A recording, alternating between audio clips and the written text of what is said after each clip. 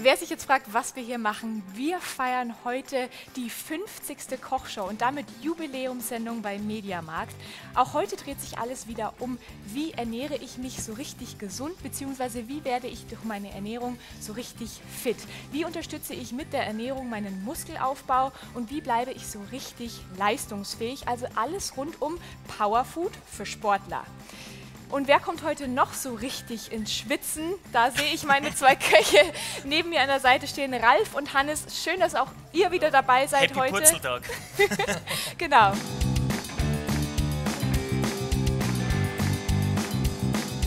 Der André fragt, beziehungsweise als erstes kommen hier auch Gewürze mit rein, beziehungsweise bestimmte Kräuter.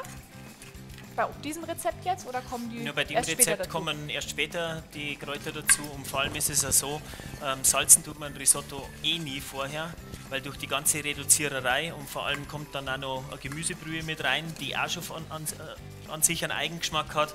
Ähm, der Parmesan kommt am Schluss rein, der Rucola kommt rein, die getrockneten Tomaten, jetzt wenn ich da am Anfang Salz rein da, dann kann es sein, dass er am Schluss versalzen ist und das wollen wir nicht. Deswegen schmecken wir am Schluss einfach ab.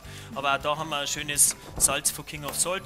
Ja, das ist so eine Pasta-Mischung, da sind auch noch mal getrocknete Tomaten drin und äh, Oregano, Basilikum, ja, Der- Zwiebeln.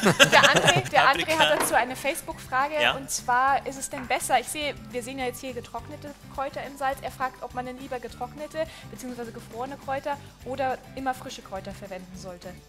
André, das ist ganz klar, nimm frische Kräuter. Frische Kräuter ist immer cool, bloß bei dem Wetter ist es jetzt halt ab und zu ein bisschen schwierig. Hexens, du hast eine gute Schaufel, dass du den Schnee wegschaufeln kannst und dann kannst du frische Kräuter ernten. Also man muss immer schauen, was für eine Jahreszeit, man kriegt da alle Kräuter immer frisch und deswegen kommt bei uns nachher beim Tomatenrisotto nochmal richtig fett Rucola drunter, grob geschnitten und das ist dann das frische Kraut für uns. Ich glaube, du hast es auch schon mal erwähnt. Der Maurice fragt jetzt nochmal die Frage, mit was kochen wir das Risotto heute ein? Er fragt mit Wasser oder mit Wein.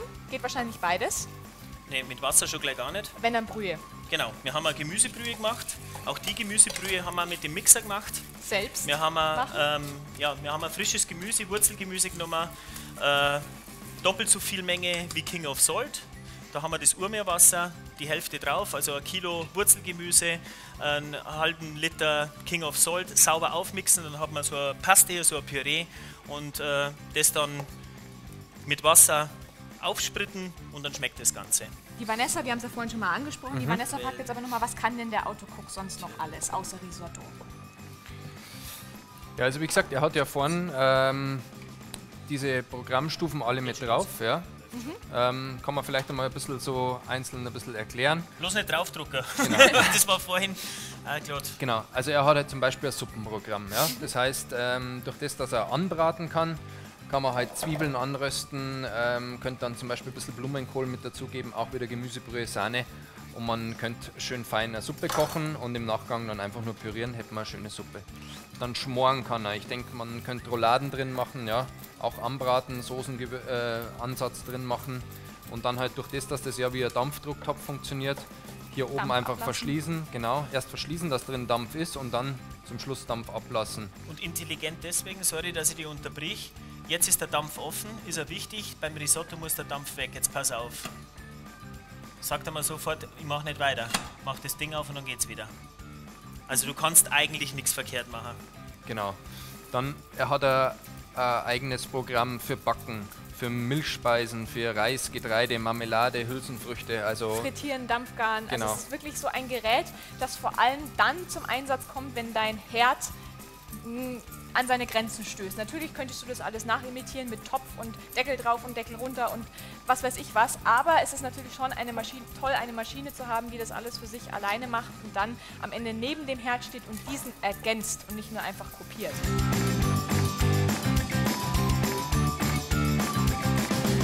So, Ralf, Ja, ja, die Milena hat noch eine Frage. Ja. Kann man denn in den Mixer auch Nüsse reinmachen? Geht das auch? selbstverständlich. In den Mixer kannst du Nüsse reinmachen.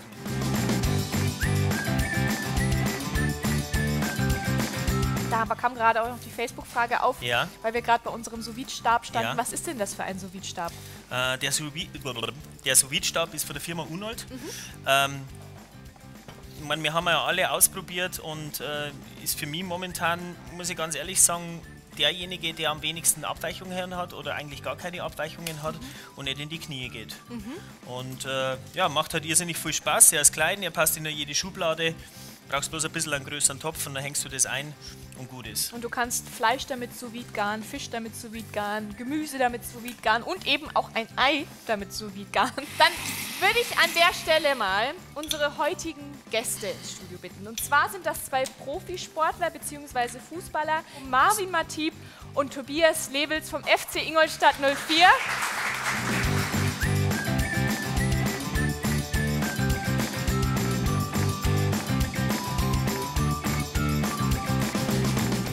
Frage lautet, ähm, wie esst ihr denn vor einem Spiel? Beziehungsweise wie bereitet man sich da von der Ernährung her drauf vor? Naja gut, man, äh, es wird nicht reichen, vor dem Spiel anzufangen. Man muss am besten schon die ganze Woche vernünftig essen. Ähm, ja, man redet immer von Kohlenhydraten, die sind auch relativ wichtig, die langkettigen, also aus, aus Vollkornprodukten zum Beispiel. Ähm, aber Mineralstoffe und Vitamine und Enzyme sind halt auch, spielen halt auch eine ganz, ganz wichtige Rolle, wenn der Körper dann funktionieren soll. Also es sind ähm, nicht immer nur die Kohlenhydrate, die liefern die langzeitige Energie, aber damit der Körper wirklich funktioniert und alle Reaktionen im Stoffwechsel angeschmissen werden, braucht man ein bisschen mehr Mineralstoffe, wie gesagt, Mineralstoffe, Vitamine, Enzyme. Die Nathalie hat gerade noch eine Frage gestellt, da kam jetzt kein Eis mit rein. Hat es jetzt. Doch. Kam da auch mit Eis mit rein? Eis war war das drin. jetzt absichtlich oder Da war normalerweise? ein bisschen Eis drin. Ja, also wenn ich den so probiere, der ist eigentlich kalt genug. Okay. Ich Ist habe je noch ein nach, bisschen Eis nachge... ist je nach, ist der Feinschmecker. ist je nach, ist je nach Präferenz. Also, keine Ahnung, ich trinke die auch gerne ein bisschen wärmer, weil es dann für den Magen auch ein bisschen angenehmer ist. Aber viele, gerade auch im Sommer, trinken den natürlich kalt. Viele. Blick wieder. Der Blick nach rechts. Ja, ich glaube schon, dass er mit Eis, finde ich, immer noch einen Tick besser schmeckt. Und ja, gerade die Datteln sind genannt, also die benutzen wir dann eben auch zum Süßen eben. Und ich glaube, dass da auch ein recht ja, leckerer Geschmack dann eben noch dabei rauskommt.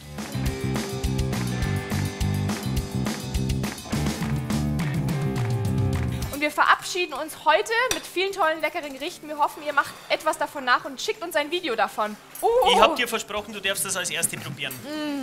Warte mal, das Goschal ein bisschen abputzen, da geh her. So. Und? Irre. Irre, das müsst ihr nachmachen. Das ist ohne Kohlenhydrate und vor allem für den Abend richtig lecker. Toll. Viel Spaß beim Toll. Nachkochen.